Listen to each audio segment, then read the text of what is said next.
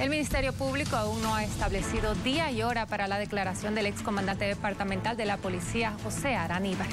Después de que se suspendió en tres oportunidades la declaración de José Luis Araníbar, excomandante departamental de la policía en La Paz, como sindicado en el proceso que investiga la muerte de Rodolfo Illanes, su abogado defensor denunció que hasta el momento no le entregan fotocopias simples de los cuadernos de investigación existentes, que necesita saber el contenido de la información para planear una defensa y que hasta el momento el coronel está en indefensión. Se ha presentado una ampliación. Lastimosamente, desde el día de ayer no puedo ver el cuaderno de investigaciones.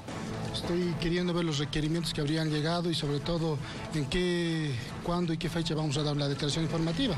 El día de ayer me han dicho que estaban haciendo un informe con los cuadernos, no me los han prestado. En este momento he ido y me dicen que la comisión no está ahí. José Luis Araníbar está en la clínica policial internado desde el pasado martes 27 de septiembre. Ya fue visitado por un médico forense que emitió un informe legal sobre su estado de salud.